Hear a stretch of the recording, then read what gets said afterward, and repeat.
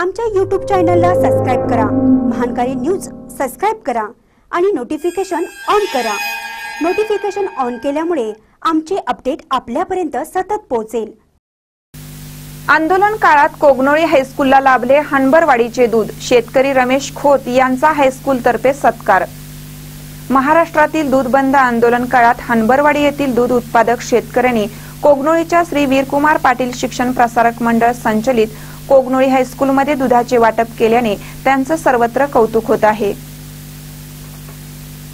कर्नाटक शासनाच्या शिरभाग्य योजनेअंतर्गत दुधाचा लाभ जवळपास पाचशे विद्यार्थी घेत आहेत.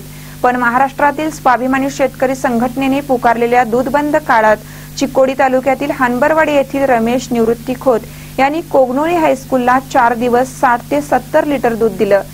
त्यांनी आंदोलनकर्त्यांना दुधाची नासाडी न करता सामाजिक उपक्रम राबवून नवा आदर्श घालून दिला. त्यांच्या या कार्याची दखल घेऊन मुख्याध्यापक रवी किरण नवाळे यांच्या हस्ते रमेश खोत यांचा सत्कार करण्यात आला. स्वागत व प्रास्ताविक अमोल आवटे यांनी केले.